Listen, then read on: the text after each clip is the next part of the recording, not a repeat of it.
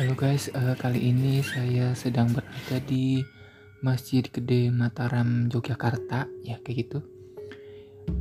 Jadi uh, yang unik dari masjid ini adalah um, arsitekturnya, yaitu yang menggabungkan antara agama uh, Hindu, Buddha, dan Islam yang diperpadukan sedemikian rupa sehingga menambah kesan estetik dan sakral itu sendiri ya teman-teman menurut ceritanya untuk perpaduan arsitektur itu sendiri itu sebagai bentuk toleransi pada saat itu ya teman-teman.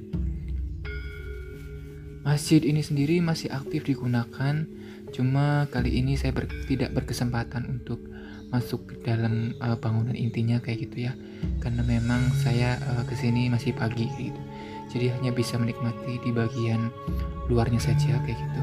Untuk bagian uh, depan masjid ini sendiri itu ada kolam ikan kayak gitu. Ya untuk uh, masuk ke kawasan ini teman-teman tidak dikenakan tiket masuk ya teman-teman. Jadi cukup uh, bayar parkir saja ya. Bayar parkir di depan masjid kayak gitu. Ya jadi teman-teman uh, selain sebagai tempat kegiatan keagamaan kayak gitu Masjid ini juga banyak digunakan atau dimanfaatkan masyarakat kayak gitu sebagai tempat wisata sejarah, wisata edukasi, wisata seni ataupun uh, sekedar menikmati suasana dan pemotretan kayak gitu ya. Nah, di kawasan masjid ini sendiri itu terdapat uh, area pemakaman raja-raja atau area makam raja-raja dan juga uh, sendang kayak gitu ya. Sendang itu tempat pemandian gitu ya teman-teman. Ini adalah gerbang menuju uh, makam raja dan sendang kayak gitu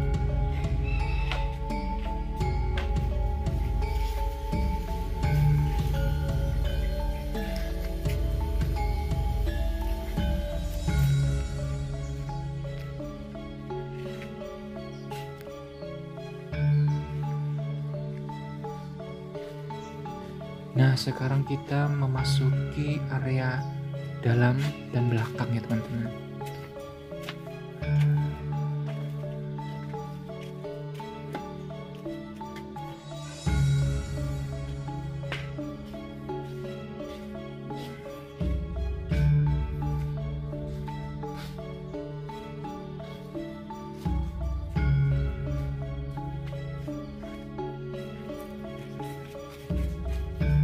Ya, setelah teman-teman memasuki area dalam, nanti teman-teman diminta untuk uh, mengisi buku tamu ya teman-teman di sini. Nah, di area sini sendiri itu ada bangsal pengapit ler dan ada bangsal pengapit kidul ya teman-teman. Jadi bangsal ini mengapit pintu gerbang menuju makam raja-raja. Ini adalah bangsal kidul dan ini bangsal pengapit ler kayak gitu teman-teman. Nah, dan ini sendiri adalah pintu gerbang makam raja-raja ya teman-teman. Tapi sayang sekali ini uh, ditutup ya teman-teman. Jadi kita tidak berkesempatan untuk masuk ke dalam kayak gitu.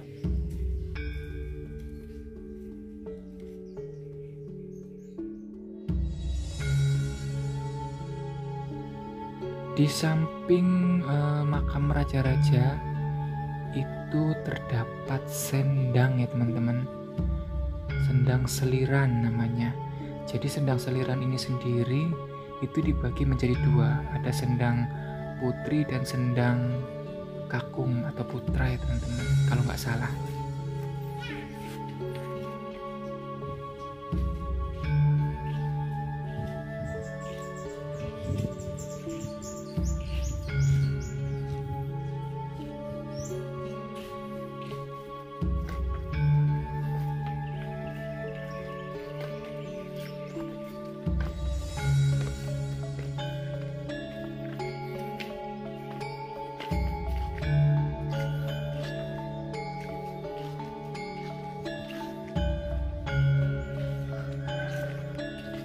Nah, ini adalah area Sendang Putri.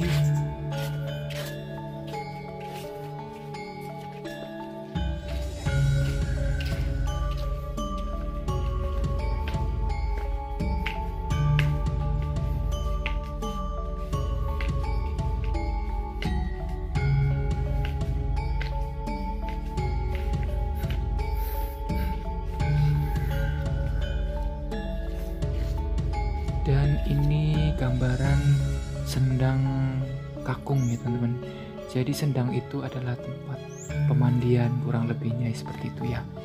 Bahasa awamnya seperti itu kayak gitu. ya menurut saya tempat ini tuh sangat cocok sekali untuk teman-teman yang sedang berlibur di Yogyakarta karena memang tempat ini tuh uh, vibesnya itu vibes kita seakan-akan kita uh, kembali ke zaman dahulu kayak gitu teman-teman ya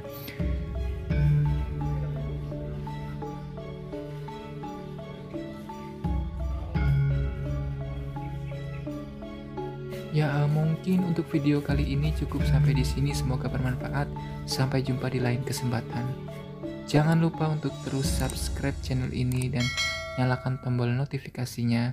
Sampai jumpa di video selanjutnya. Bye bye.